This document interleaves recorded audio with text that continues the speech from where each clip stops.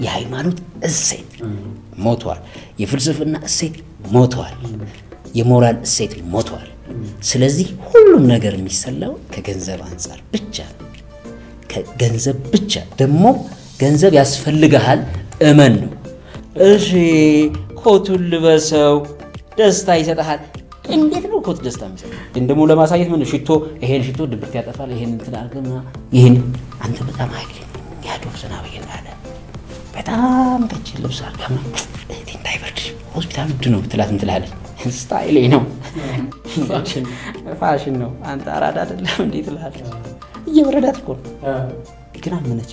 ሺ ፌልደት ይሄ ስሜት ስለተፈጠረ ሰው የሚለው አሁን ሰው ማለት ሰው ማለት ባይዘወይ ፐርሰናሊ ያለኝም ሰው ማለት ምክንያት አይደለም። ሰው ማለት ማሰብ መቻል አይደለም። የሰው ልጅ ከእንስሳ የሚለየው በማሰብ በተአምር አይደለም። ኤክስ በማሰብ ዶልፊን ይበልጠናል፣ በማሰብ አንበሳ ይበልጠናል፣ በማሰብ ፍየል ትበልጠናለች። ከዛ ሲገባ ስታይ ደግሞ አስተማሪ የተከበርኩ ነኝ ሳለ ዳስ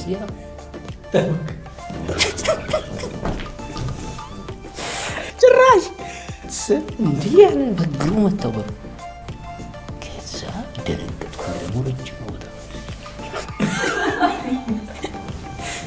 ረጅም ነው ረጅም ነው። ዘጠነኛ ክፍል ነው። ዋትስ ዮር ኔም ማን ነው ስም? መሐመድ አሊ። አንተ ነው የሚጠይቅህ እንዴት ነው መሐመድ አሊ ካሲስ ክሌም ኢትዮጵያዊ ከሌላው የሚለየው አንዱ ምንድን ነው? ስኬታማ መሆን ፈልጎ ግን ስኬቱን ራሱ እያጠቃሚ እርሶ ስኬታማ እንደሆነ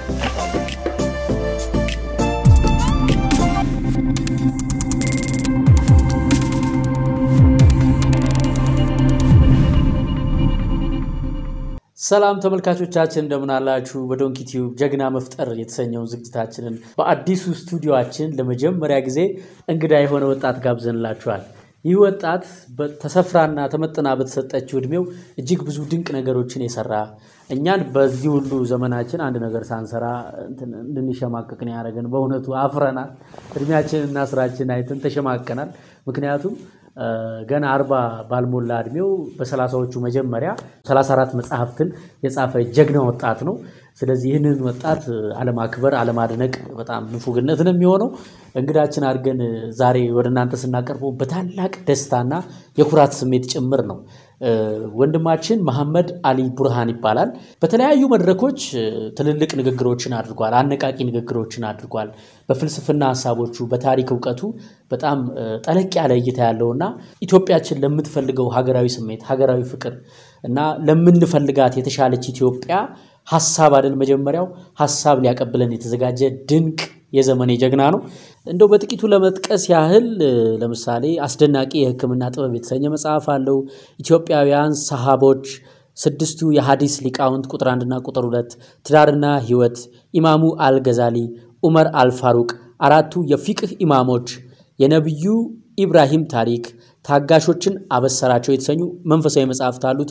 በዓለማዊው ደግሞ የፍልስፍና ሕይወት፣ የማንነት ክንፎች፣ የጥበብ ፈለግ፣ ሰንደቅ የለሽ ዓላማ እንዲሁም ያልታተሙ ደግሞ አምፖልና ኩራዝ፣ የተስፋ ብርሃን፣ ዘር መላሽ የተሰኘ ደግሞ ልቦወለድም አለው። በፊልሙ ዓለምም እናውቀዋለን መሐመድ አሊ ቡርሃንን። በጣም ከወደድናቸው ፊልሞች መካከል ግሩም ኤርሚያስ የሚተውንበት ውሃና ወርቅ የተሰኘው ፊልም ድርሰቱም ዝግጅቱም የመሐመድ አሊ ቡርሃን ነው። ሌላው ደግሞ ዓለም በቃኝ የተሰኘው ፊልምም እንዲሁ የእሱ ድርሰት ነው። መሐመድ አሊ ቡርሃን ደራሲ ቢሆንም ግን በጣም የሚያስደንቀው በ industrial chemist ነው የመጀመሪያ ዲግሪውን ያገኘውና በዚሁ በተመረቀበት በ industrial chemist ሙያ ውስጥ ሳሙና የሚያመርት ማሽን ዲዛይን አድርጎ እስከ መገጣጠምና እስከ መስራት ድረስ እንደሄደ አጫውቶኛል። እንዲሁም ደግሞ ሳሙናን ቀምሞ በማምረትም ሰርቷል። so chemist ነቱንም በደንብ ከውኖ ሲያበቃ ጎን ለጎን ግን የነፍሱን ጥሪ ተከትሎ በዚህ በድርሰቱ ዓለም በርካታ ስራዎችን ሰርቷል እና ይህንን ጀግና ኢትዮጵያዊ ወጣት ቆሜ ይቀበለዋለሁ። አገር በትምህርት ጥራት መሰረትነት ትገነባለች። ስኪል ማርት የትምህርት ልማት አክሲዮን ማህበር ደግሞ የዚህ ራዕይ ባለቤት ሆኖ ኑ አክሲዮን ግዙና አብረን እንስራ ይለዎታል። ከኬጂ እስከ ኮሌጅ የመገንባት ራዕይ ያለው ስኪል ማርት አክሲዮን በመሸጥ ላይ ይገኛል።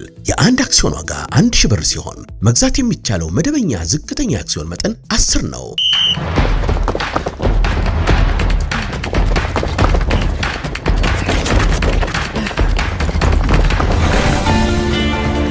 የከፍታውን ጫፍ አብረን እንርገጥ። ቶፕ ውሃ እንኳን ደህና መጣህልኝ መሐመድ። መሐመድ ውሃ በጣም ትወዳለህ። በጣም ውሃ ህይወት ነው። እኛም ደግሞ የሚገርም ዝግጅታችን ላይ የዶንኪ ቲዩብ የ golden ደረጃ ስፖንሰር ሆኖ አብሮን እየተጓዘ ያሉት ቶፕ ውሃ ነው። በዚህ አጋጣሚ ቶፕ ውሃ እናመሰግናለን። cheers። interesting። ውሃ በጣም ብዙ ነገራችንን shape ያደርጋል። አዎ even ፈገግ ስንል ለምሳሌ ፈገግ ብለህ ስለተቀበልከኝ ደስ ብሎኛል። ውሃው ነው ጨዋታውን የተጫወተው። ሰባ percent ውሃንና bodily ውሃ ራሱ በባህሪው ይሳሳባል። ወንዝ ዳርም ቁጭ ስንል ደስ ይለናል። ሀይቅ ዳር ምናምን why for because water power አለው። ብበሳጭ እና ብኮሳተር ውስጥ ያለው ውሃ ነው attract የሚሆነው repel ም የሚያደርገው። ስለዚህ በውሃ ምክንያት ነው ፈገግም ስንል ስናዝንም ስንከፋም even በጸሎት በተለይ የጃፓን scientist ኦች ብዙ ተመራምረው አይተውታል። የውሃው structure በባህሪያችን ይለያል። የሚገርመው ውሃ ስትል አንዴ አንድ experiment ምርምር አይቼ የነበረ ቪዲዮ እና ፈረንጆቹ በብርጭቆ ውሃ አደረጉ የተለያየ ቦታ። ከዛ ምን አደረጉ? እዚህኛው ውሃ ላይ ይመጣና ሰውየው ይጮህበታል። በየቀኑ ጠዋት ይመጣና ይሰድበዋል። አንተ የማትረባ እርኩስ ገዚህ ምናምን ብሎት ይዘጋበታል ውሃው ላይ። ለዛኛው ውሃ ደግሞ ጠዋት ይከፍትና የኔ ቆንጆ ደህና አደርግ፣ በጣም የተዋብክነ ደስ ትላለህ፣ አቤት ስታምር፣ እወድሃለሁ እኮ አፈቅርሃለሁ እኮ ይለዋል። በአንድ ሰባት ቀን ከዛ ሲታይ ያኛው ውሃ ጠቁሮ ገምቶ ተበላሽቷል። ይሄኛው ውሃ እንዳለ ነው አሉ። ምንድን ነው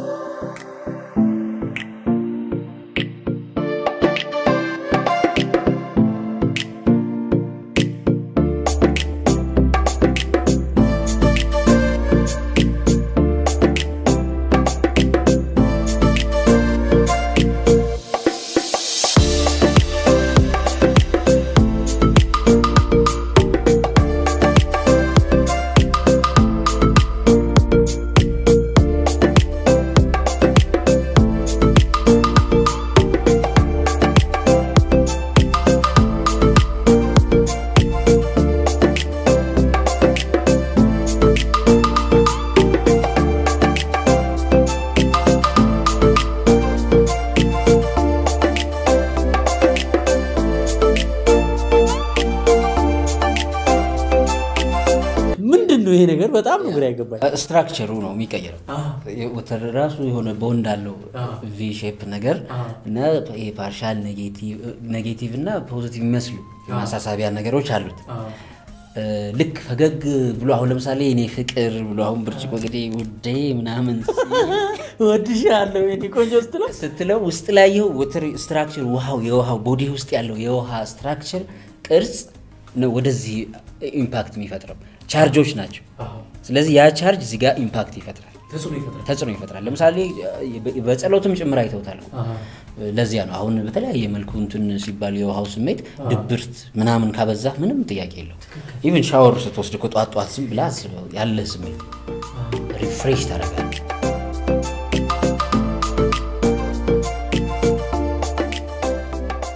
በጣም እናመሰግናለን መሐመድ ስለመጣ። ስምህን ስሰማው እስከ አያት ነው ብዙ ጊዜ የሚጠቀሰው በየቦታው ይመስለኛል። መሐመድ አሊ ቡርሃን ብርሃን መስሎ የነበር መጀመሪያ ግን ቡርሃን ነው። ቡርሃን ምን ማለት ነው? ምክንያት ማለት ነው እና የኔ ስም ነው። እኔ ነኝ ያወጣሁት፣ ራስ ወላጆች አይደለም። እውነት ካደግክ በኋላ ማለት ነው። እንዴ እንዴት ማን ነበረ ወላጆች ያወጡልህ ስም? ወላጆችማ መሐመድ አሊ የሚለው ስም ነው ትክክለኛው ስም ቡርሃን ነው። የአባቴ ስም ደግሞ እኔ ያወጣሁት ስም አዲስ ነው። ስለዚህ ቡርሃን አዲስ ነው። አዲስ ቡርሃን አዲስ ነው። አዲስ ስም አውጥተሃል አሁን? አዎ normally ቡርሃን አዲስ ነው። ቡርሃን አዲስ ነው። አዎ totally ቡርሃን አዲስ ነኝ። አሁን አሁን መሐመድ አሊ አይደለም። መሐመድ አሊ ቦክሰኛው ማለት ነው።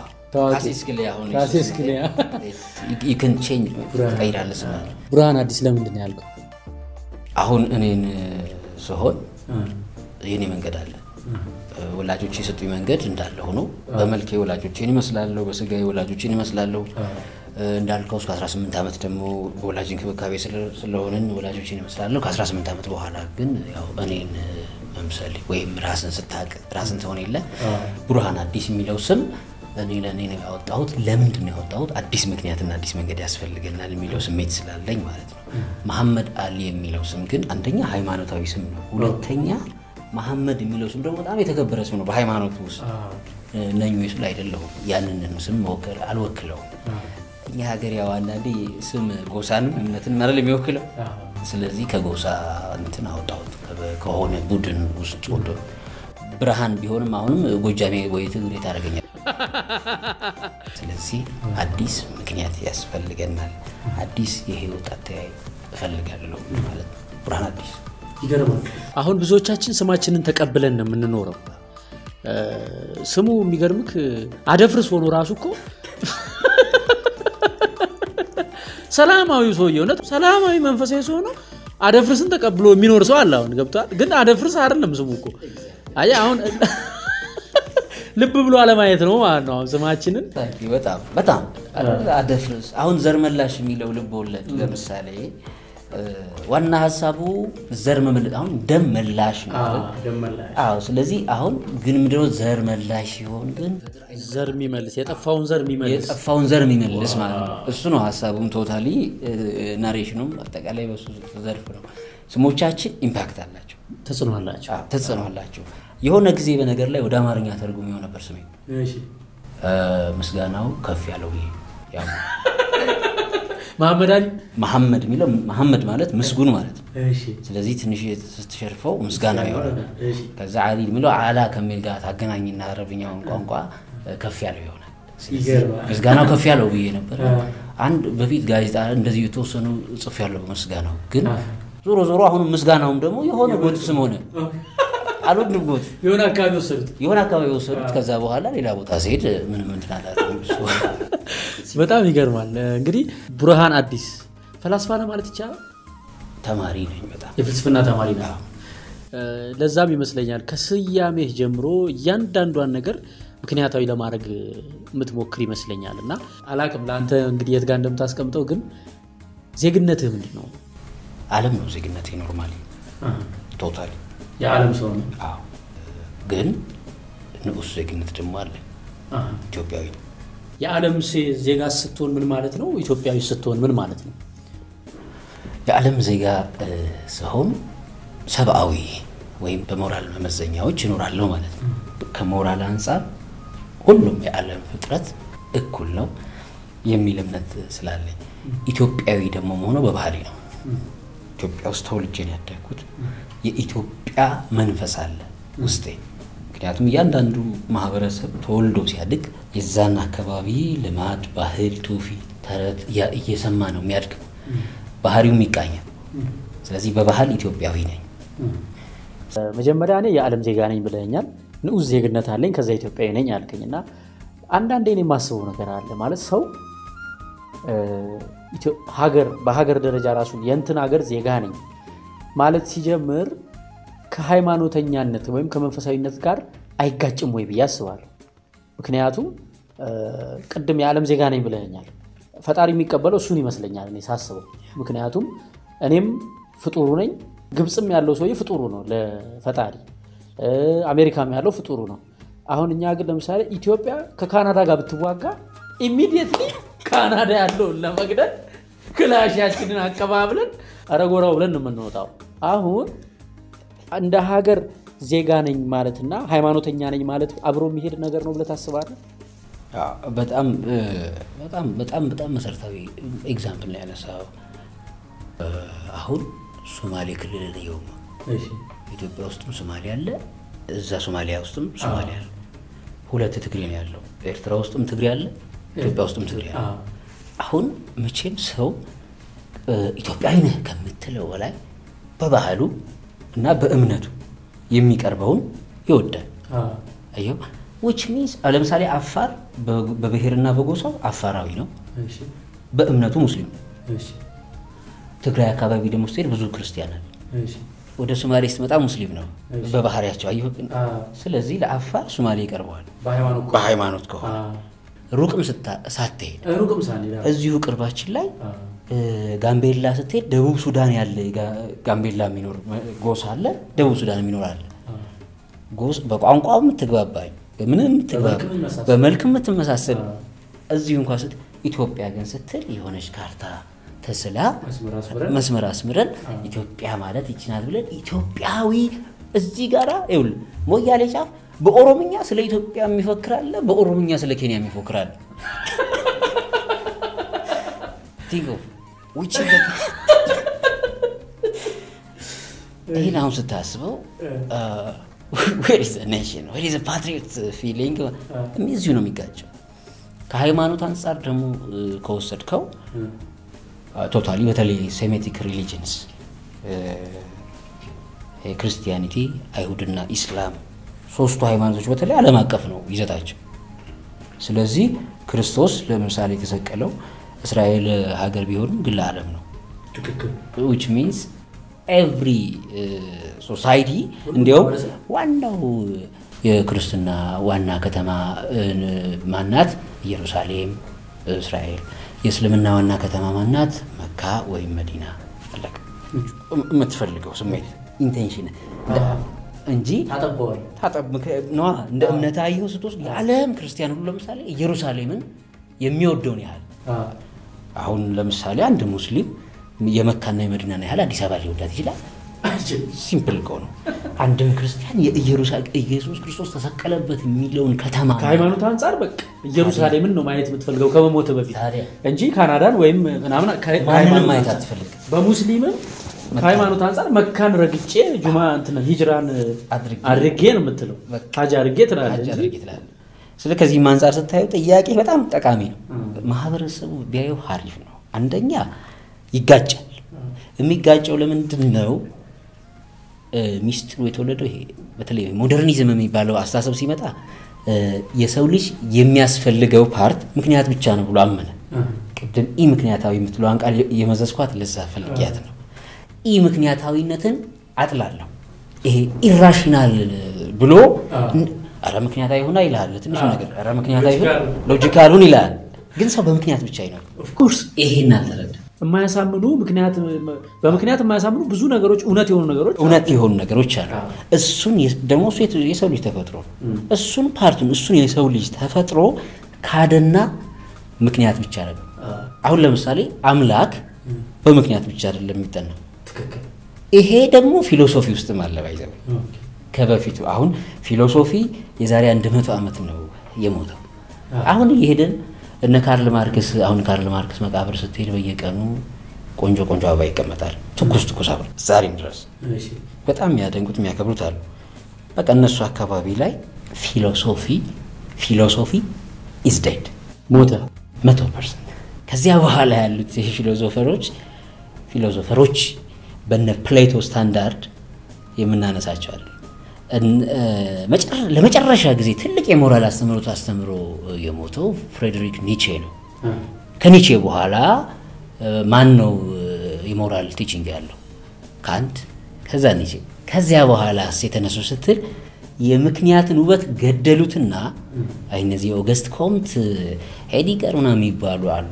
አሁን በዚህ መቶ ዓመት ውስጥ ሁሌ የሚነሱ በብዛት ደግሞ ዩኒቨርሲቲም ውስጥ ታ- ታያቸዋለህ። እ፣ philosophy ምናምን ብለው የሚንቀሳቀሱ ልጆች የምክንያትን የምክንያትን ተፈጥሮ ብቻ ለመያዝ ይሞክር። የምክንያትን ብቻ ተፈጥሮ ከያዝክ ሳይንቲስት ነው የምትሆነው። ሳይንስ ደግሞ ማለት ስጋ ማለት ነው። ነፍስ አያውቅም። ነፍስ የለውም። ስጋ ብቻ ነው። ቁስ ብቻ ነው። material part ነው ሳይንሱ ራሱ የሚያወራው። ሳይንቲስት መሆን ትችላለህ። ስለዚህ ዘመናዊው ዓለም ይኸው በሳይንስ ጥግ ደርሷል። እሺ። ከየትኛውም ስልጣኔ በላይ እሺ። በ philosophy ሞቷል፣ በሞራል ሞቷል፣ በሃይማኖት ሞቷል። በሳይንስ ብቻ perfect ሆኗል። which means ያች ቅድም ያልናት የ irrational አስፈላጊዋን part በመጣሉ። ላስቆመ ዘመናዊው ዓለም በሳይንስ በጣም ጥግ ደርሷል። በ philosophy ሞቷል፣ በሞራል ሞቷል፣ በሃይማኖት ሞቷል ስትል. ለምሳሌ የምናየው ነገር ነው። ምዕራቡ ዓለም ላይ በአሁኑ ሰዓት የተመሳሳይ ጾታ ጋብቻ ይፈቀድልሃል። ሞራልና ሃይማኖት ሞተ ማለት ነው። ግን በ five G ቴክኖሎጂ፣ በስሪዲ በሰቨንዲ ቴክኖሎጂ ሰርግህን ከፈለግህ ማርስ ላይ ሄደህ ማድረግ ትችላለህ። ይሄንን ነው አሁን እያልክ ያለ በትክክል ቆንጆ ነው። ምሳሌ ያነሳው ይሄንኑ ነው ማነሳው። እነዚህ ሶስት ነገሮች አሁን ሃይማኖት፣ ፍልስፍና፣ እነዚህ ሞራል አሁን ሞራል ከፍልስፍና የነጠልኩት ያው የፍልስፍና part ቢሆኑ በሃይማኖትም ግን የሞራል አስተምህሮት ስላለ እነዚህ ሶስት ነገሮች ስለሞቱ totally በሳይንስ ብቻ ነው ሁሉም ነገር ሊተነተን ሊብራራ የሚሞክረው። ትምህርት ቤትም ወደ አካዳሚ ስትመጣ ብዙ ነገሮች ትምህርት ላይ ስትማር ሳይንሳዊ መሆኑ ስለዚህ አንድ ሳይንቲስት የተለየ hero ተደርጎ ነው የሚወሰደው ከአንድ ካህን በላይ። ትክክል ስለዚህ ካህኑ ወይም ደግሞ ሼሁ ወይም ደግሞ የሆነ ፈላስፋው ወይ ምናምን አሁን እኔ በጣም ማዝነው አንዱ ፈላስፋ ሲባል በጣም ግድ የለሽና ሽማግሌን ከሳደበ የመጀመሪያ ጸጉሩን እንደዚህ እንትን ማያበጥር ቅባት ማይቀባ አይደል? እዚህ ጋር የትራስ እንትን ነጫጩ የምታገኝበት ያን እንደ philosopher no no አይደለም። because philosophy አንዱ branch ኡ ethics ነው። ስነ ምግባር ማለት ስነ ምግባር ማለት ነው። ስነ ምግባር ደግሞ እንደ ማህበረሰብ እንደ ባህልህም ይወሰናል። የ philosophy አስፈላጊነት የአንድን ማህበረሰብ ችግር በትክክል ማየት ለመቻል በቃ የሚያገለግል መሳሪያ ነው። ይሄ ይህን አሁን ኦ እሱ እኮ ፈላስፋ ነው ካለ በቃ ዝም ብሎ የሚቀባጥርና ምክንያት የሚፈልግ ሰው ምናምን ማህበረሰቡንም የሚያፈርስ ነው። even አስተሳሰቡ ሁሉ ወይ እሱ እኮ odd ነው። አሁን ይሄ ይሄ ይሄ case የመጣው ለምንድን ነው? እነዚህ እምነቶች ሲካዱ ያ philosophy ሲካድ እና ሲሞት moral teaching ኡም ሲሞት ማህበረሰብ ልቅ ሆነ። ቅድም እንዳልከው ተመሳሳይ ጾታ ጋብቻ አሁን ለሳይንስ ብቻ እውቅና ስለሰጠን ሳይንቲስቶች ተፈጥረዋል። ምን አይነት ሳይንቲስቶች? homo ሳይንቲስቶች አሉ ራሳቸው እነዚህ ሰዶማዊ homosexual ወይም? ሰዶማውያን ሳይንቲስቶች አሉ። research ይሰሩና ሳይንሳዊ ድባብ ለማላበስ የሚሞክሩ ሰዶም የሚባለው ነገር ሳይንሳዊ እንደሆነ ለማሳየት ወደሚል ያመጣል። ይሄንንም እስከ ማምጣት የደረሱት የሞራል ቀውሱ በመምጣቱ ነው። የዛሬ መቶ ዓመት ለምሳሌ ብንኖር ኖሮ አሁን ኢትዮጵያዊነት ማለት እንደ ንጉሱ ነው። በቃ ንጉሱ ለምሳሌ በእምነቱ ክርስቲያን ሲሆን በብሔሩ አማራ ሲሆን ዜግነትም ክብር ያለው በእነዚህ ሰርክል ይሆናል። ሙስሊም ሲሆን እንደ ሙስሊምነቱ የሱልጣን ኢሚር ምናምን ብለን የምናስበው ሙስሊም የሆነ እንግዲህ የመጀመሪያ ዜጋ ይሆናል። ሱልጣኑ አካባቢ ሱማሌ ከሆነ ሱማሌ ቅድሚያ ይሰጠዋል። ኦሮሞ ከሆነ ኦሮሞ እንደ መሪው ማንነት ይሄ በጥንቱም ያለ ነው። እነ አሌክሳንደርም ስትወስድ በነ ናፖሊዮን ምናምን አለ። ለምሳሌ አሌክሳንደር ነው ለመጀመሪያ ጊዜ ሰውን ለሁለት የከፈለው የእሱ ግሪክ እና ሌላው በቃ ብሎ ግሪክ እና ሌላው we and others የሚባለውን አስተሳሰብ አመጣ ወዘተ ምናምን። ከዛ በኋላ በሶሻሊስት ደግሞ ስትሆን በደርግ በደርግ ደግሞ ስትሆን ወይ- ህብረተሰባዊት ነው ወይ ኢምፔሪያሊስት ከሶሻሊስት ውጭ ያለ ኢምፔሪያሊስት ሆነ በቃ አጥፊ ነህ። ስለዚህ አልሚና አጥፊ የሚባል division አለ። አንደኛ ክብር ያለው even እንደ ዜግነት የምትወስዱ እኮ አሁን ለእኔ ለምሳሌ በደርግ ጊዜ የአብዮቱ ደጋፊ ስትሆን እና የአብዮቱ ደጋፊ ሳትሆን ራሱ ዜግነት የሚኖርህ ራሱ የአብዮቱ ደጋፊ ስትሆን ይመስለኛል total። ስለዚህ ምክንያቱም ከአብዮቱ ደጋፊ ውጭ ያለ ተጨፍጭፏላ እንደ ዜጋ ክብር ቢሰጥህ አትጨፈጨፍም። ቢያንስ ስለተቃወምክ ነው የተመታኸው። ስለዚህ ዜግነት depends እንደ መሪው ተወስኖ ቆይቷል። ወዲህኛው መተናል፣ ወዲያኛው እንሄዳለን ወዘተረፈ። it depends እንደ ፖለቲካው ቅኝት ይወሰናል። ዜግነትም ይሄ የምትለው አጠቃላይ ጉዳይ ማለት ነው። ፓስፖርት ሳይኖር ትሄድ ነበር ምናምን ድሮ። አሁን የዛሬ መቶ ዓመት ፓስፖርት እኮ ያስፈልጋል። እሺ። እግርህ እስከቻለ ድረስ ትጉ እግር ከቻለ ዝም ብለህ አትላንቲክን አቋርጠህ ትሄዳለህ። ታንኪ መታወቂያ ያስፈልጋል። እንደው አንዳንድ የማስበውን ሀሳብ ነው ያመጣልኝ። አንዳንድ ጊዜ እኔ ምን አስባለሁ፣ ለአሜሪካውያን አሜሪካን ማን ሰጣቸው?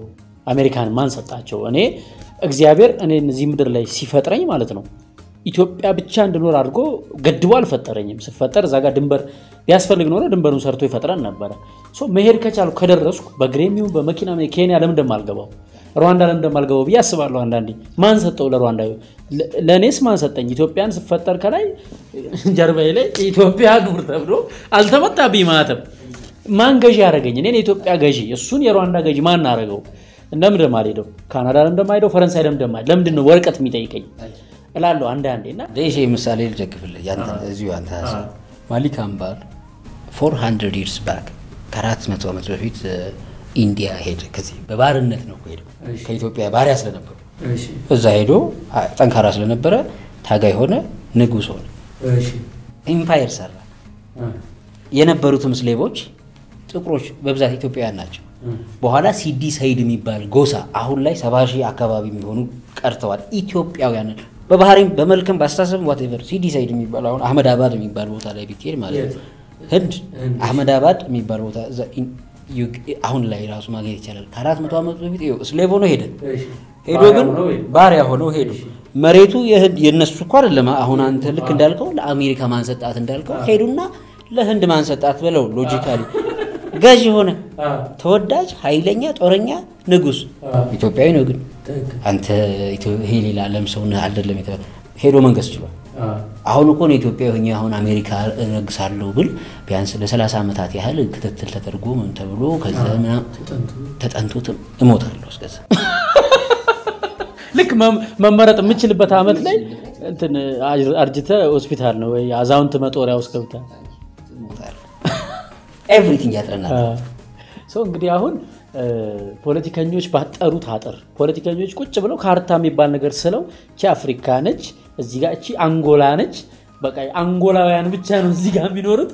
እናንተ አንጎላችሁን ይዛችሁ ወደ ኢትዮጵያ ሄዱ ምናምን ብለው ፖለቲከኞች ባሰመሩት መስመር ታጥረናል። አሁን okay፣ እኔ የሚመስለኝ ይሄ የዓለም ካርታን ሳየው ሰዎች መስመር ሰርተው ቁጭ አድርገው ብር ሊቀበሉ ስለፈለጉ ሀያላን ሰዎች አንተ እዚህ ጋር ነሽ እኔን የምገዛ ትገብራለህ ምናምን ብለው ይሁን በቃ ይሁን ሆኗል already ግን አሁን ኢትዮጵያዊ ተብሎ በታጠረልን ሀገር ውስጥ ለእኔ ኢትዮጵያዊነት አንተ እንዳልከው ሀሳብ ነው ምናብ ነው በምናብ ነው ኢትዮጵያን ማቃት እንጂ በድንበር እዚህ ጋር እዚህ ምናምን ብዬ አይደለም። ግን ኢትዮጵያዊ የሚባል አስተዳደግ አለ ኢትዮጵያዊ የሚባል ባህል አለ ኢትዮጵያዊ የሚባል ማንነት አለ? በጣም ደስ የሚል ጥያቄ በጣም ቢዩቲፉል ነው። ይሄ ያወያያል።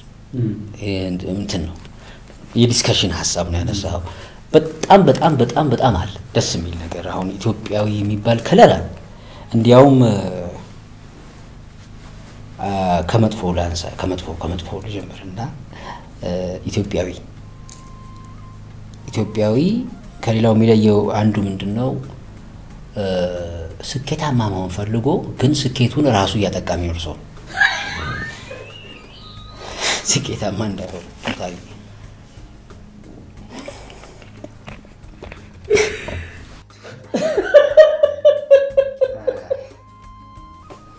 ራሱን የሚበላ ራሱን የሚበላ ወይኔ በእናትህ! ማንም እንደዚህ በአንድ አረፍተ ነገር እንደዚህ አስደምሞኝ አያውቅም። ማንም! ኢትዮጵያዊ ስኬታማ መሆን ፈልጎ ስኬቱን ራሱ እያጠቃ የሚኖር ሰው ነው አሁን ይሄ በታሪክ ውስጥም ታየዋል። አድዋንም ያህል ታሪክ ሰርቶ ማለት ነው። አድዋ በዓለም ላይ 11 ሀገሮች ብቻ ናቸው ነፃ ቅኝ ያልተገዙ የውጭ ተጽዕኖ የሌለባቸው። ያውም እንደ ኢራን አይነት እንደ ጃፓን አይነት ማለት civilization history ያላቸው አዎ፣ የስልጣኔ ታሪክ። ያላቸው ትልልቅ ሀገሮች ከነዛ መሀል 11 ኢትዮጵያ አንዷ ናት።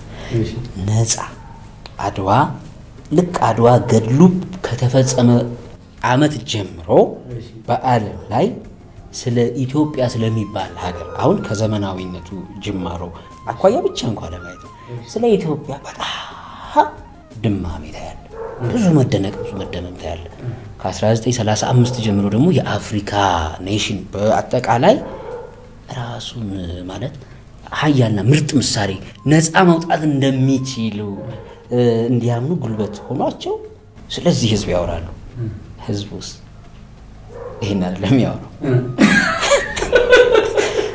ቅድም ያልከው ነው ራሱ ራሱን ያጠቃል። which means እኔ አንተን ሞዴል እያደረኩ ሞዴል እያደረኩ አዎ ሞዴል ነኝ ብለህ ቁጭ ብለህ ጥርስን እየፋክ እንደዚህ ነው የምታሳልፈው። think of all our actions ማለት ነው።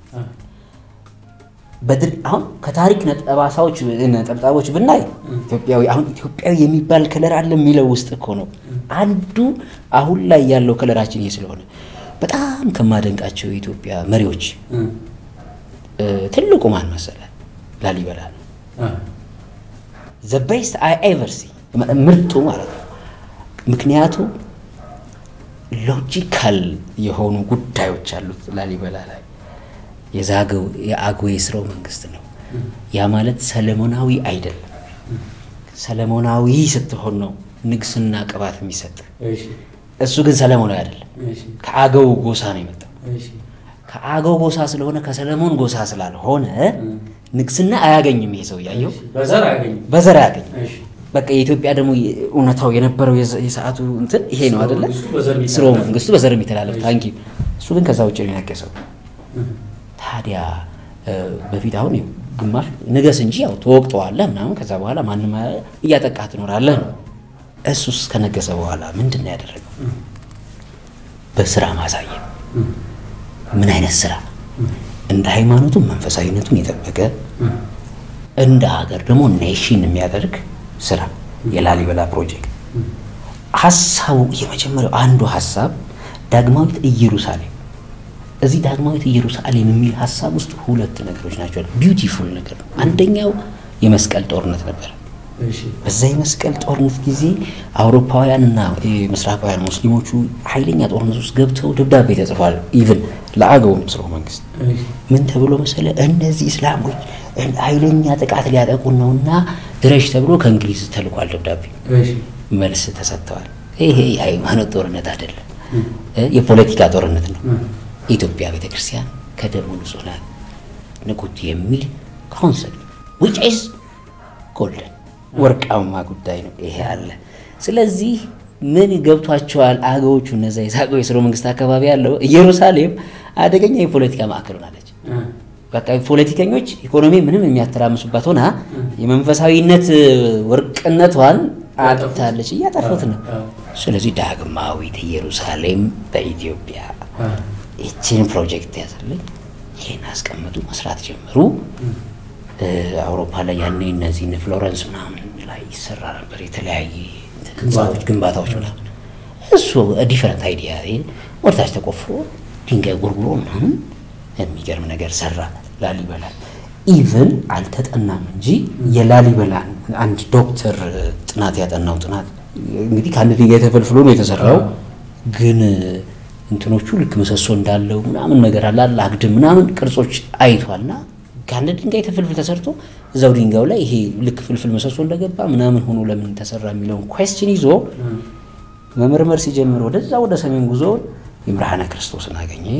ስድስተኛው century ላይ ይህ ብርሃነ ክርስቶስን አሰራር ሲያዩ በጣም ገርሞታል። ተመሳሳይ ነገር አለው በእንጨት ነው የተሰራው። እሱን ይዞ ቀጥታ ሲሄድ አክሱም ጋር የአክሱምን በሮች አሰራር ዝም ይዘህ መጥተህ ላሊበላ ጋር copy so የሆነ nation ከእስከ አካባቢ የሆነ ነገድ እንዳለ summarize አድርጎ አቅርቦታል። ይሄ የአገው society ወይም ላሊበላ ዳግማዊት ኢየሩሳሌም ሲል አንደኛ ምርጥ የኢትዮጵያዊነት ቀለም የሰራው ሰው ሰርቶ ሰርቶ እያንዳንዱ labor ማለት ነው ሰርቶ ቆፍሮ ድንጋይ ጠርቦ ምን ብሎ እንዲያገለግል working nation ጎሳነትን ከስራም ጋር አያይዞ በአንድ እጁ ይሰራል፣ በአንድ እጁ ይጸለያል አይነት society የሰራው ቤተክርስቲያን ነው አይደለ? እየጸለየም እየሰራም እንዲኖር የሚያደርግ እንደ መንፈሳዊም እንደ ምድራዊም አይነት nation ምናብ ቀርጾ ሰራ። ይኸው ዛሬ ድረስ ከ800 ዓመት በኋላ እንኳ የገቢ ምንጫችን ነው። ሞቶ ላሊበላን የሚጎበኝ ሰው ስንት ነው? ስለ ላሊበላ የሚዘምር ስንት አለ? አሁን እንግዲህ ስምንት መሪ ማለት እንደዚህ ሞቶ ስለ ላሊበላ ስታስብ አሁን በመንፈሳዊ ካየው ቅዱስ ላሊበላ ብለህ ትዘምር ይሆናል። but በዓለማዊ concept እንደ society እንደ nation እንደ architecture እንደ leader ስትወስደው አስደናቂ color ሰርቶ ነበር። እሱን color ብንከተለው ኖሮ አሁን ላይ ትልቅ success ማለት ሰሪ ትውልድ መፈጠሩ አይቀርም። ግን ያንን color አይደለም የተከተል አሁን ያለው ኢትዮጵያዊነት color እሱን ጭራሽ እናጠቃልል። እና የተረት color ነው እናጠቃልል። ተረት በጣም ነው የምንወደው። ተረት አዎ ኢትዮጵያዊው color በጣም የተረት color ውስጥ ገብተናል። because ትልቅ ነን የሚለውን ሀሳብ ኢትዮጵያ እኮ ትወድቃለች፣ አይሰማህም። ኢትዮጵያ እኮ ትፈርሳለች፣ አይሰማህም። ኤርትራ ኢትዮጵያ አልነበረች እንዴ? እና ያው የጀበና ጭንቅላት ቢሸረፍ ቡና አይጠፋም ነው። ግን አላጣናትም እንዴ? አተናት ጅቡቲ የኛ አልነበረች እንዴ? አሁን አዎ ነበረች። እሱማ እኮ ግን ኢትዮጵያ ዋናው ነገር አትፈርስም። ኢትዮጵያ? የት ሆነ? ዋናው ኢትዮጵያ? ታንኪ የት? እ። ይሄ ነው ከሜሮኤ እስከ ናፋታ ከንትና እስከ ምናምን ገዝተን ኢትዮጵያ እንደሆነ ወደኋላ ኢትስ ቬሪ ሼም ኢትስ ቬሪ ሼም ዋይስ ሼም ሀገራት ይነሳሉ ሀገራት ይወድቃሉ። ንጉሥ ዳዊት ሲነሳ ጀሩሳሌም የትልቅ ኪንግደም ሰሩ። አስደማሚ አስደናቂ ምናምን። ከዛ ልጁም ጥበብ ጨመረበትና ምናምን ከዚያ በኋላ ኢየሩሳሌም ልክ ክርስቶስ እስከመጣ ድረስ እየወረደች የመጣችው decline እያደረገች። ከዚያ በኋላ ከአራተኛው ከአምስተኛው ምናምን ክፍለ ዘመን በኋላ እየቆጠርክ ነው። ቆይተ ቆይተ እንትን የምታደርገው አንዲት ቦታ ነው ጸንቶ የምታገኘው civilization Byzantine area ላይ። ከዚያ ውጭ ግን መንግስታት ያድጋሉ ይወድቃሉ። እስራኤል 1948 ነው ትናንትና። እንደ አዲስ revive አርጋ የአባታችን የዳዊት መሬት ምናምን ብር ስንት ሺህ ዓመት ቆይታ ማለት ነው። ሁለት ሺህ ምን Judea የሚባለው እንግዲህ ስለ እስራኤል ማንም መጽሐፍ ቅዱስም ላይ ቁርአንም ላይ በግልጽ የተቀመጠ ነገር ከዓለም የበለጡ mind wise በጣም genius ኦች መሆናቸው ይታወቃል። even አሁን በዚህ በቀላል ቋንቋም ደግሞ the most great scientists are Jews በጣም አደገኞቹ scientist ኦች እስራኤላውያን አይሁዶች ናቸው። ከስምንት መቶ ምናምን ኖቤል ውስጥ ሰባት መቶ ምናምን አይሁድ ነው። ምንም እንትን የለውም። አለቀ። የትም አትሄድ። እስካሁን ድረስ ከተሸለሙት አንስታይን አይሁድ ነው ካልክ እኮ ይበቃል። አንስታይን አይሁድ ነው በቂ እኮ ነው። ካርል ማርክስ የአይሁድ ዝርያ ያለው ሰው ነው ሲግመንድ ፍሮይድ የአይሁድ ዝርያ ያለው ደግሞ አሁን የምታየው ዓለም ከሶስት ውጭ ያለም ሶስቱ ባይኖሩ ዓለም ሌላ ነው መልኳ total። ይህ እነዚህ ዓለምን የሰሩ ሰዎች Jews በቂ genius ኦች ናቸው ማለት ነው። ታዲያ እነዚህ genius ኦች ሁለት ሺህ ምናምን ዓመት ሙሉ አንድ ምድር አጥተው ሀገር አጥተው ሀገር መሆን ችለው መቆየት ያልቻሉ ህዝቦች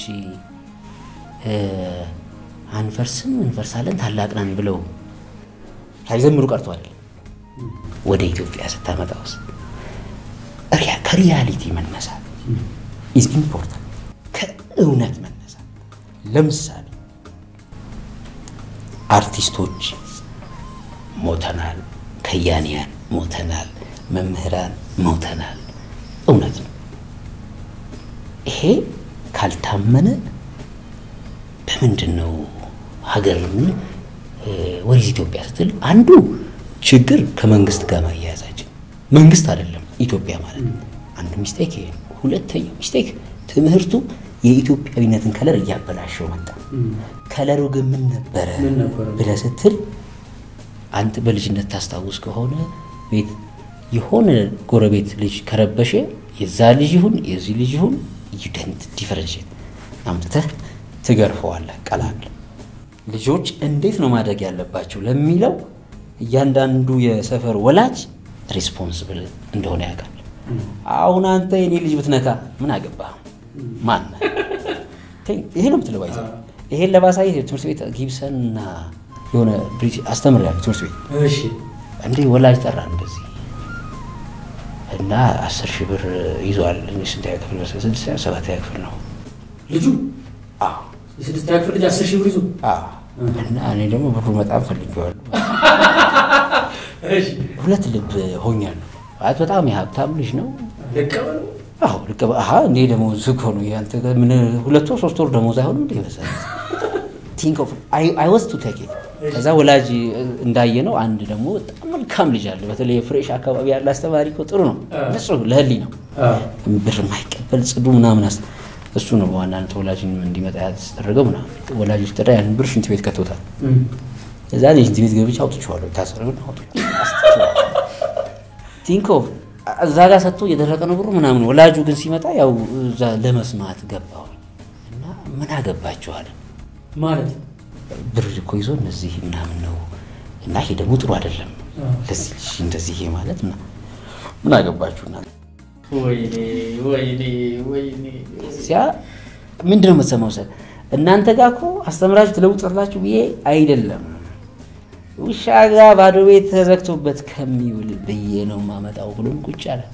ስለዚህ ያንን ብር መውሰድ ልክ ነበር ብዬ አሰብኩኝ። በሌላ ቋንቋ ውሻ ጋር ታስረው ከሚውል እንጂ እናንተ ምን ታስቡታል? ከዚያስ ሌላም እንደዚህ international ትምህርት ቤት ምግብ ስና የመምህራኑ ዝቅተኛ ነው ክፍያው፣ እዛ ካፌው ራሱ የተማሪዎች ነው ውድ። በህይወት አታውቅም። ምግቡን ምግቡ የተማሪዎቹ የተማሪዎቹ ውድ ነው እኮ normally ጸዴ ምግብ ነው normally። ግን የመምህራን ደግሞ ዝቅተኛ መሆኑ ተማሪዎቹ ሀብታም እንደሆኑ ይታወቃል። morally ተመታል። በቃ teacher ልጋብዝ ሊል ይችላል ተማሪ teacher እና ዛሬ ሰው ላርግ teacher ሊል ይችላል። እዛ ቦታ ላይ የሚያነሱ እንዲህ የሚልህን ተማሪ እንዴት ነው የምትቆጣው? እንዴት ነው የምታርመው? እንዴት ነው የምታስተካክለው? ከዛ አሁን ይሄ ነው እንግዲህ ኢትዮጵያዊነትን color እኮ የሚያጠፋው። ያ ለምሳሌ አንድ ጎበዝ መምህር ነበር እንግዲህ በጣም ትልቅ ውጤት ያለው ልክ ሲገባ እሱ ስለሌለ እኔ እሱን class እየሸፈንኩኝ ነበር። ልክ እሱ ሲመጣ ግን ያው ወጣሁ ተገቢው ሰው ስለሆነ። ከዛ እኔ እንደ ጓደኛ ለመንገር ነው። እሱ በጣም ይኸውልህ መንፈሳዊም ነው። እና ethics ደግሞ ይሄ ስነ ምግባር ምናምን ግብረገብ ተማሪዎች መቀረጽ አለባቸው ብሎ ነው የሚያምነው። ጠጋ ብዬ ያው ተማሪዎቹ ትንሽ ይረብሻሉ። እና ትንሽ በቃ ደግሞ ትምህርት ቤቱ ላይ ደግሞ መምታት ክልክል ስለሆነ psychologically should understand ቀና ብዬ እኔ አዲስ ከተማ ትምህርት ቤት እንዴት አድርጌ ስርዓት እንዳስያዝኳቸው በቃ ዘወር አልኩኝና አሳዘነኝ በጣም።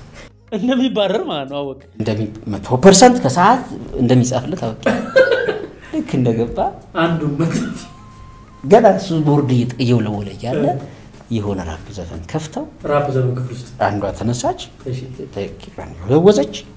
ትደንሳለች። እንዲህ እንዲህ class ውስጥ exact እሱ ማለት በቃ ያወጣች። ከዛ ዘወር ሲል ነው እንግዲህ እሱ ነው የሚተርክልኝ። ዘወር ስል ቂጧን ትወዘውዘዋለች አለ። ምንም አላለም። duster ኡን ፈነከት በ duster? ከዛ መጡ። ተናዶ ነው የሚያወራን እዛ library ውስጥ። ምን አይነት ትውልድ ነው? ክላ በቃ ይሄ ኢትዮጵያዊ color የሚባለውን አሁን እያወራው ማለት ነው። እየተረተው ነው አልቋላ አሁን የለም ሞቷል። ስነ ምግባር ግብረ ገብነት ምናምን የሚለውን ነገር ማንሳት ጀመረ። ከሰዓት ነው አስር ሰዓት አካባቢ መጽሐፍ ሊዋስ ሲመጣ ይስቃል human resource። ደብዳቤ ጽፈዋል። okay። ተባረረ። በአንድ ቀን? ከዛስ ተወዳጆቹ እነማን ናቸው? አዝጎቹ። ለምሳሌ እዛ ሶስት ወር ለምትደንሰዋ ልጅ ቸኮሌት የሚሸልሙት ማለት ነው። ለምሳሌ እኔ ሳስተምር አንድ ሰዓት አይደል? አርባ ደቂቃ ግን አስጨፍረው የማስተምረው። ስምምነት? ስምምነት። ማለት? ነው። ለአርባ ደቂቃ ያህል የሆነ ቲያትር ልሰራ ወይ የሆነ ልኮምክ እሺ። ወይ እነሱም ሊኮምኩ ሀያ ደቂቃ ብቻ እንዳስተምር ሊፈቅዱልኝ ተስማምተን አርባ ደቂቃ mood ከያዙብኝ በኋላ። ነው የምታስተምራል። which means የዘጠነኛ ክፍል አሁን ይሄ እንግዲህ ግብረ ገብነት የምትለው ነገር ሞትን ነው የሚያሳይ። የዘጠነኛ ክፍል ተማሪ ልጅ አርፍዶ መጥቶ በር ሲያንኳኳ አይቸው የኮስተር አለ። ዋት አለ። ቶታል። ገባ ማለት ቦክስ ሊማታ ነው። ከዛ ሲገባ ስታይ ደግሞ እኔ አስተማሪ ነኝ የተከበርኩ ነኝ ነው ሀሳቢ ዳስ ጌታ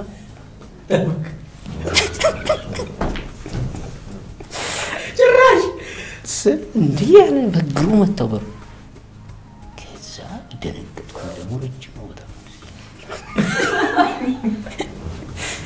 ረጅም ነው? ረጅም ነው። ዘጠነኛ ክፍል ነው። ቲቪ ዋትስ ዩር ኔም ማን ነው ስምህ? መሐመድ አሊ። አንተ ነው የሚጠይቅህ እኔ ነው እንዴት ነው? መሐመድ አሊ። ካሲስ ክሌም ከአሲስ ክሌን አንግጠም ማለት ነው። ተማሪ ነው አሁን አስተማሪውን እንዲህ የሚለው።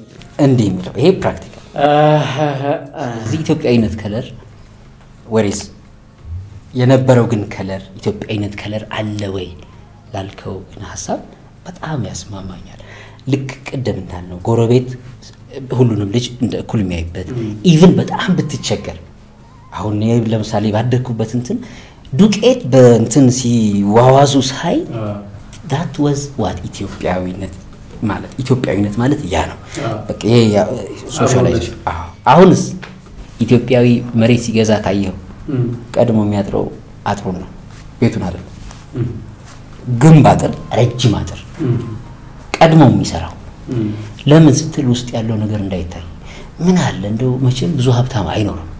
አጠር አጠር ያለ አጥር አድርጎ at least አበቦችን እንድናይ ቢያደርግ የአጥር ማስረዘም value ምንድን ነው? አሁን እኮ ሀገር ማለት ህብረት፣ አንድነት የምትለው ከሆነ በአጥሩ ነው የምለካው። አንዳንዱ አጥርማ ሁለት ሶስት step አለው ዝም ብለህ ስታይ አይለካም። የውጭ አጥር ደግሞ መቼም ፊልም እያየን ያደግነው ውብ ነው።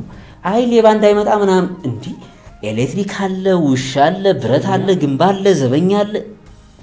ቤት ውስጥ የሌለ ነገር ለአጥር የሚበጀተው በጀት ይበዛል። ስለዚህ አሁን ይሄ ኢትዮጵያዊ color ነው። ልክ የሆነ ይሄ ጦርነት ያለበት ሀገር እንደሚኖር ሰው ማለት ነው፣ ወይም በአዳን ጋር እንደምትኖር ምርጥ ምሳሌ ሰጠኝ። exactly ምሽግ በለው ጦርነት ውስጥ እንዳለ በጣም አስረዝመው አጥረኸው ውስጡን ብቻ እንዴት ይሆናል? አበባ ለምንድን ነው ቤት ውስጥ አትተክልም? ውጭ የምታደርገው at least አካባቢ beautiful እንዲሆን እንኳን የማሰብ በኢትዮጵያዊነት ባህል ግን ቢያንስ እንደው በቆርቆሮም እያደረግን አሁን ድሮ ልጅ ሆነን እንኳን ትንሽ አበባ እንድንተክል ምናምን የሚያደርጉን ነገር that was good culture ዛፍ መትከል ምናምን የሚባሉት ትልቅ experience ኦች ናቸው። በእምነት ደግሞ ስትወስደው ህፃናት ክርስቲያን ሆኖ ቁርአን ቤት ይውላል፣ ሙስሊም ሆኖ ቄስ ትምህርት ቤት ተምረናል ምናምን አስታውሳለሁ። was golden ቄስ ናቸው ትሄዳለህ፣ ሁሉም ሰው ይላል። ከዛ በኋላ ያነባል፣ ያጠናል፣ ትኮረኮማል። that was ኢትዮጵያዊነት። ሁለተኛ በቀደም ደግሞ ሁለተኛ ራጉኤልና አኑዋር አይነት ነገር አየሁ። እዛ አየር ጤና አካባቢ ሳለ እንዲህና እንዲህ መስጊድና ቤተክርስቲያን አየሁ። እነዚህ by the way የቆዩ ስለሆኑ እንጂ አሁን ላይ ይሰራል ብዬ አላስብም። ለምሳሌ ባለፉት ten years ሊሆን ይችላል አስር ዓመታት እንደዚህ ተቀራርቦ እዚህ ጋር መስጊድ ካለ እንደ ቤተክርስቲያን እዚህ ይሰራል ወይ አይዳውት። አሁን ላይ አሁን ላይ ርቀታችን በጣም ሩቅ ሆኗል። ቅድም መጀመሪያ ያነሳነውን ሀሳብ ሃይማኖት ሞቷል። ባለፈው አንድ መቶ ዓመት እሴቱ ነው የሞተው። የሃይማኖት እሴት ሞተዋል። የፍልስፍና እሴት ሞተዋል። የሞራል እሴት ሞተዋል። ስለዚህ ሁሉም ነገር የሚሰላው ከገንዘብ አንጻር ብቻ ነው። ከገንዘብ ብቻ ደግሞ ገንዘብ ያስፈልግሃል እመን ነው። እሺ ኮቱን ልበሰው ደስታ ይሰጥሃል። እንዴት ነው ኮት ደስታ የሚሰጥ? ልበሰው ደስታ ይሰጥ። ይሄን ጠጣ፣ በጣም አሪፍ dependent ጥገኛ ለማድረግ dependent። ስለዚህ አንተ ሲደብርህ የግዴታ ያን ኮት ስትለብስ ነው ደስታ የሚሰጥ። feel ታደርገዋለህ። ትክክል። ይሄን ደግሞ ለማሳየት ምን ሽቶ ይሄን ሽቶ ድብርት ያጠፋል። ይሄን እንትን አድርገህ ምናምን ይሄን አንተ በጣም ኃይለኛ ዶፍ ዝናብ እየጣለ በጣም ቀጭን ልብስ አድርገህ እህቴ እንዳይበርድሽ ሆስፒታል ውድ ነው ብትላት ምን ትላለች? ስታይሌ ነው ፋሽን ነው አንተ አራዳ አይደለም እንዴ ትላለች። እየበረዳት እኮ ነው ግን አመነች። she felt it ይሄን ስሜት ስለተፈጠረ ሰው የሚለው አሁን ሰው ማለት ሰው ማለት by the way personally ያለኝም ሰው ማለት ምክንያት አይደለም። ሰው ማለት ማሰብ መቻል አይደለም። የሰው ልጅ ከእንስሳ የሚለየው በማሰብ በተአምር አይደለም። ex በማሰብ ዶልፊን ይበልጠናል። በማሰብ አንበሳ ይበልጠናል። በማሰብ ፍየል ትበልጠናለች። የሰው ልጅ ውስብስብ ነገሮችን ማሰብ ይችላል። imagination አለው፣ ምንም ጥያቄ የለውም። ግን ያሰበውን practically በመፈጸም ፍየል የተሰጠህል ብታይ ምንም መብላት ነው ትበላለች። ቀጣይ simple ዶልፊን የሆነ ነገር አንበሳው የሆነ ነገር አንተ አደን ወጥቶ እንስሳ? አይ አይደለም እንዴት አድርጎ አድነው ምን ያህል ኪሎ ሜትር ትሮጣለች እቺ ጥንቸል? ከዛ አስልቶ ልክ ዘሎ እንደሚይዛት ያውቃል። effective አየው ያሰበውን ነገር አልሞ ይተኩሳል ያደርገዋል። የሰው ልጅ የማሰብ ብቃቱ ትልቅ ነው ውስብስብ ነው ግን ምን ያህሉ ነው የሚያስበው? አንደኛ ምን ያህሉ ነው አስበው የሚጠቀምበት የሚለውን ጉዳይ ስታየው effectively ማሰብ ሰውን ከሌላው እንስሳ አይለየውም። የሚለየው? ሞራል ሞራል እንስሳ ጋር ሞራል የለም።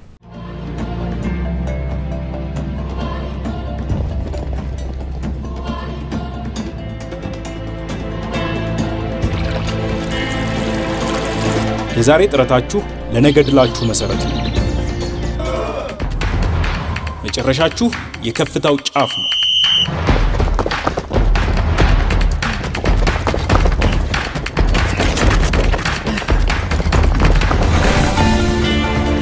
የከፍታውን ጫፍ አብረን እንርገጥ። ቶፕ ውሃ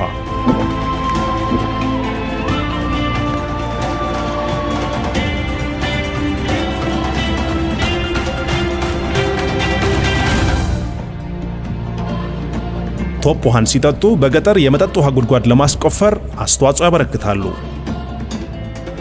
የውሃ ማሸጊያ ፕላስቲኮች አካባቢን እንዳይበክሉ መልሰን ለሌላ ጥቅም እናውላለን።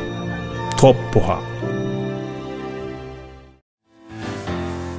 አገር በትምህርት ጥራት መሰረትነት ትገነባለች። ስኪል ማርት የትምህርት ልማት አክሲዮን ማህበር ደግሞ የዚህ ራዕይ ባለቤት ሆኖ ኑ አክሲዮን ግዙና አብረን እንስራ ይለውታል። ከኬጂ እስከ ኮሌጅ የመገንባት ራዕይ ያለው ስኪል ማርት አክሲዮን በመሸጥ ላይ ይገኛል። የአንድ አክሲዮን ዋጋ አንድ ሺህ ብር ሲሆን መግዛት የሚቻለው መደበኛ ዝቅተኛ አክሲዮን መጠን 10 ነው። የመስራችነት ጥቅም የሚያስገኘው አክሲዮን እስከ መስከረም 30 ድረስ 50 ሺህ ብር ሲሆን ከጥቅምት አንድ በኋላ በየ15 ቀኑ በ50 ሺህ ብር እያደገ ይሄዳል። አስታውሱ መግዛት የሚቻለው ከፍተኛ አክሲዮን መጠን 20 ሚሊዮን ብር ሲሆን አክሲዮኑን በመግዛት ዳጎስ ያለውን ትርፍና የአባልነት ተጠቃሚነት አሁኑኑ ያረጋግጡ። የአክሲዮን ሽያጩ የሚቆየው እስከ ህዳር 30 2013 ድረስ ብቻ ነው። አድራሻ 4 ኪሎ ኤልሲ ህንፃ 3ኛ ፎቅ። ለበለጠ መረጃ በስልክ ቁጥሮች 0911771525 0911785760 ይደውሉ። ባህር ዳር ጨልፊት ህንፃ ላይ ያገኙናል። ስኪል ማርት የትምህርት ልማት አክሲዮን ማህበር